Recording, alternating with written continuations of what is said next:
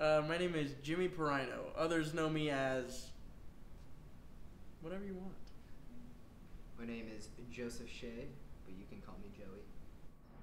My name is Michelle Rivera. Oh, I use everything. I'm on uh, Instagram, Snapchat, Twitter, Tinder, Facebook, which I felt super fucking adult when I got. Still don't know really how to use. I use Instagram, Reddit, Snapchat, YouTube, and sometimes TikTok. I use all the typical ones like Snapchat, Instagram. I sometimes watch TikTok when I really have the time, but I use Facebook sometimes too, even though it's like aging. Do you use TikTok? I did. Uh, I I, ju- I started fucking hating TikTok because like the, the the people that would get famous off of TikTok and genuinely like make like seven figures off of it would piss me off because people with no talent getting that big of a platform and doing shit with it hate it so much. So I kind of I don't have TikTok as sort of a protest. Um, also, it was just mind-numbingly like I would just I would be on it for hours. Um, what a stupid app.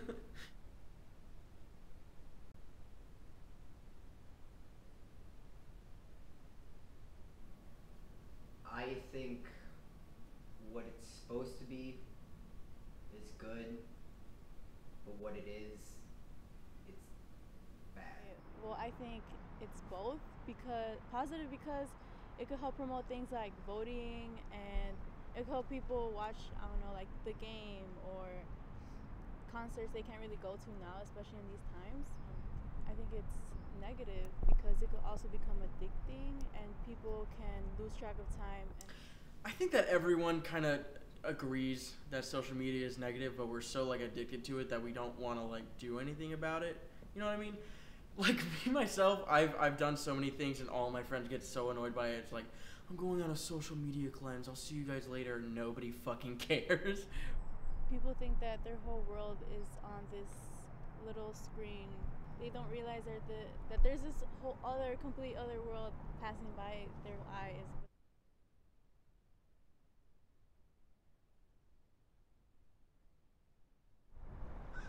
I think that in a way it does relate to social media because news can be posted on Facebook or Instagram or like those short stories that they watch. Yes, I, I do. For these this younger generation, most of them get their news sources from social media. So I feel like a lot of these people are thinking that some of these news news stations and news outlets are outdated.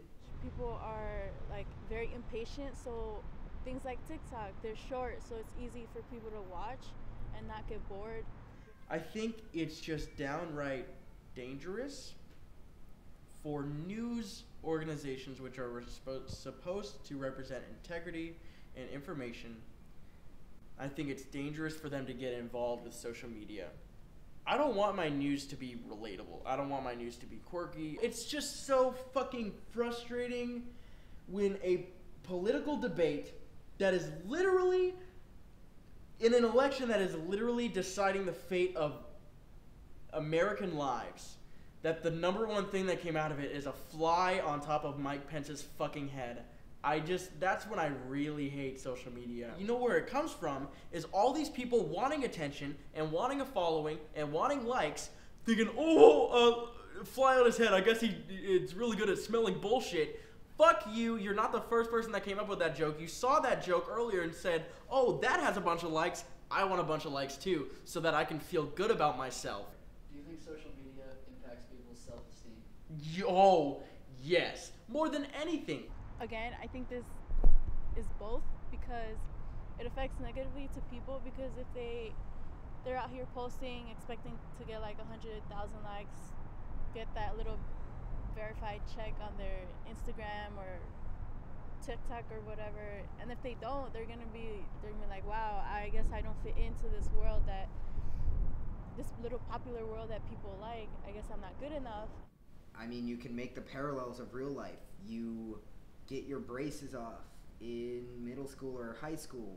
You come to school and you start smiling to try to show off your teeth to get those compliments, to get noticed, and it's the exact same thing on social media. The difference is every post you post, it's like getting your braces off. It could be positive because I mean, let's say you get lucky, you know, and you do get all those things. Well, you boost your self-esteem. And if you don't get that, you just feel like crap.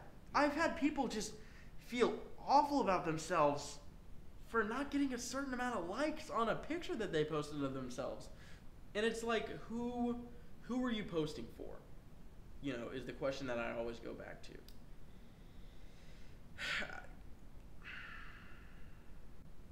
But hey, I got 300 likes on my last Instagram post, so who cares?